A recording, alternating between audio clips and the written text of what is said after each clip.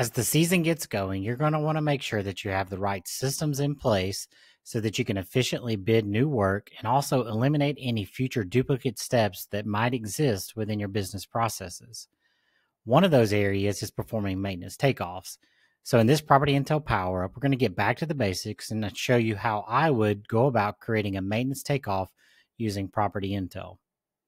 Now, if I had a new customer come in, the first step that I would do is head over to the properties area and I would add that prospect in as a property record within Property Intel. If you're an Aspire customer, you're going to do this in Aspire, and then that record will sync over to Property Intel.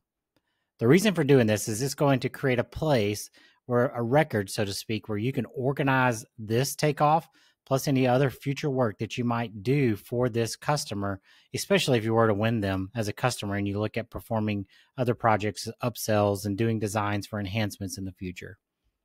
So, with the property created, you're going to do your first project. And so, your first project in this example is going to be your maintenance takeoff. You can do that right from here within the property listing, where you'll click Add Project and create new project. So, you're going to give it a name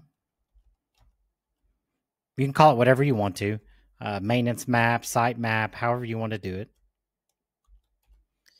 And so, one of the other next steps you're going to do is you're going to ha- want to have a template for performing that takeoff.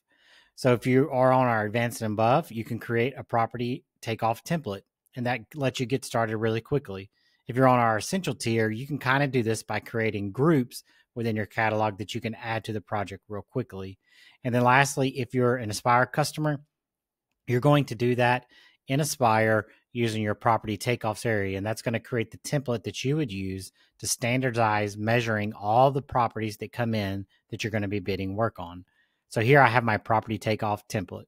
So I'm going to click it. It's going to get me started because I'd already added this property in. You can see the address is already searched. So I'm just really going to zoom in to what I want my default zoom level to be for this particular map.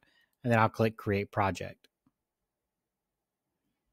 So now this project is created. You can see because I started with the template, all my items are already over here ready for me to measure. Again, this creates a standardized system within your catalog and you can set these colors for these items.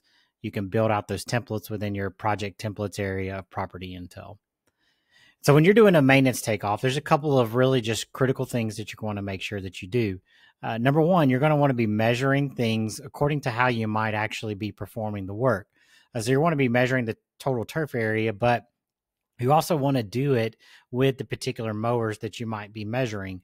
And what this does is it's going to allow you to generate accurate time estimates for servicing this particular property. And so you can see here where I have all my mower size listed. That way, if it's a larger property than just a simple home, you can measure out what you might need to accurately service that property. The other things that you're going to want to be measuring, you're going to be doing things that, that you would do in every visit, such as edging. So you want to measure all the bed edges, soft edge, hard edge, whatever you need to call it for your your particular business. Uh, you would typically measure your plant bed area. It's going to give you things for what you might need to know for spring cleanups, fall cleanups, or doing some just one off mulchings of the property. Uh, any other particular special things if there's a lot of area that has to be sprayed. Uh, and then lastly, oftentimes if there's annual color on the property, so that might find itself into the contract, you want to go ahead and capture that information so that you can use that, whether it's included in the contract or that's going to be future new work. So when it comes to measuring a property, you're just really going to be outlining this whole property uh, according to again like how you would end up servicing it. So in this one, uh, I might just be doing 48 inch mower for most of the property. Um, so I can click, go through measuring everything, outlining that property, how I might service it. Again, you would work your way through all of this particular area. Um, I'm not going to measure all of it on this video just to just for time's sake, but you would work through classifying each area, measuring it according to how you would end up servicing the property so that you have it measured. But then, as I mentioned about eliminating duplicate steps, if you do it like this on the front end, when you win this work, you have a map that you can easily hand off to your production manager or to your crews to be able to service that property exactly the way that you estimated it.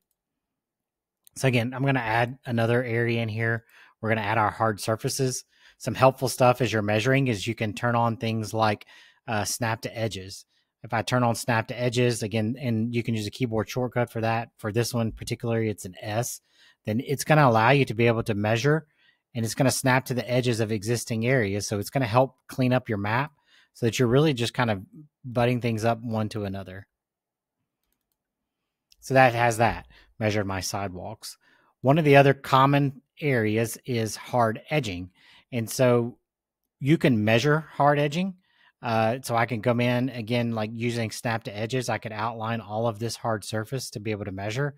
Uh, one of the other things that we have within Property Intel is we have associated materials, helps you do this quicker. And so, how I might do that here in sidewalks, um, if you open up the item like you're going to draw it, down here on the right, there's an edit item area. I can click edit item, and then I can add in an associated material. So I can come in and add my hard edge. So in this case, you would, would be setting a per, like setting a rate, but in order to speed things up, I know that everywhere I have a hard edge on the perimeter of it, I'm also going or everywhere I have a like a hard surface on the perimeter, I'm going to have a hard edge. And so I can just simply turn on this, check the perimeter box, and what it's going to do is for all my sidewalk shapes, it's going to use that perimeter to populate the distance for my hard edge. It's a real quick way to speed up measuring and have it on there.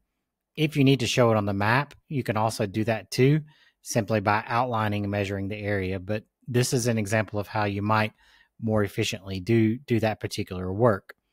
You can also set this up within your template. And so if you want to measure this way, you can save and set these associations within the project templates area right there within your project template. So every time you do this particular like type of project, all that's already going to be set for you. So you can click, see when I click save here, how now my hard edge is populated again, and it's populated with the perimeter of this particular distance. So, so if I'm doing my maintenance takeoff, I'm going to work my way systematically through this property, making sure that I've cataloged all the different things that I know need to be cataloged so that I can price this work, but then also potentially a few other things on that property that I might need the data for to price other future work if this becomes a customer that we regularly service or regularly do additional work for. Um, quickly showing you within Aspire how you would end up doing some of the very same things. Uh, in Aspire, a lot of the template stuff you're going to set up on the Aspire end within your administration console. But here I have a property uh, in Aspire. Whenever you click the meatball menu, you're going to go down and click this takeoffs area. And from within here, that's going to give you what your template is. And so you're going to have set this up for your particular company. And you can click launch property intel and create a new project to be able to perform that maintenance takeoff. And then all that data, as you measure it, will you can sync back into Aspire so that, that that data is saved within here and it can be used for building out contracts or pre-populating the kit uh, quantities that get added to a project that might reference these takeoff items. So that's how I might go about doing a maintenance takeoff uh, and a couple of just kind of little tricks and tips along the way. Uh, if you have any questions, please reach out. We'd love to help you and love to help you even as you're considering how you might build out standardized processes within your business.